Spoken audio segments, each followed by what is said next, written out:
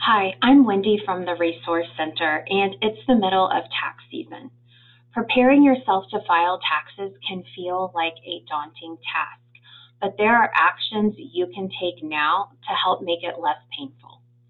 In this video, I'm going to talk to you about three things to consider to help filing your 2024 taxes. The tax filing deadline is approaching, and if you haven't filed yet, I'm here to share three things you should do to help set yourself up for a win.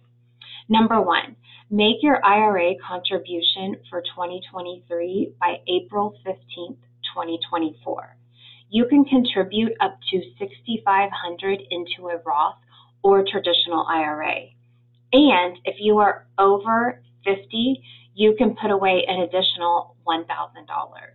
Number two, Submit your first quarter 2024 estimated tax payment if you're required, but don't lump it together with the 2023 taxes you owe on your 2023 1040.